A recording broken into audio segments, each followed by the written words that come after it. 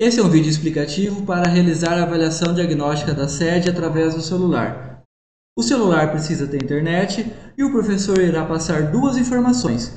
Uma seria o link do site e a outra seria o código do aluno, sendo que cada aluno tem seu código. Após abrir o site, clique nessas três barras no canto superior da tela. Depois clique no botão Entrar, clique nas três barras novamente. Nesse campo usuário, digite o código do aluno. No campo senha, digite novamente o código do aluno. Clique no botão entrar. Logo abaixo, teremos o caderno de atividades. Clique nele. Logo acima, clique no botão entrar. Acima teremos o total de dias disponível para realizar essa avaliação. Atividade 1 é a primeira pergunta da avaliação. Leia com atenção. Toda pergunta terá quatro alternativas. Somente uma é correta. Escolha a desejada. Logo abaixo teremos dois botões: o botão revisar e o botão próximo.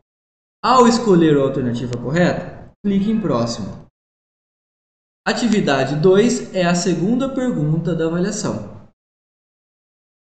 Escolha a alternativa correta e depois você clique em próximo. Toda vez que você clica em próximo, o sistema automaticamente salva todas as suas respostas.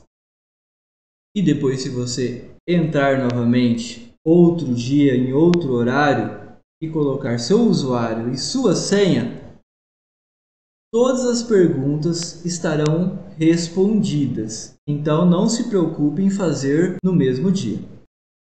Na pergunta 2 em diante, teremos três botões aqui embaixo. Anterior, para voltar à pergunta anterior. Revisar, para verificar se todas as questões foram respondidas. E próximo, para passar para a próxima pergunta. Vou clicar no botão revisar. Aqui teremos as situações de todas as perguntas. Nesta avaliação, tem 44 questões. A situação da atividade está em aberto, então não foi respondida nenhuma questão. Para entrar na questão desejada, clique no botão Entrar. Como essa é a última questão, temos o botão Finalizar.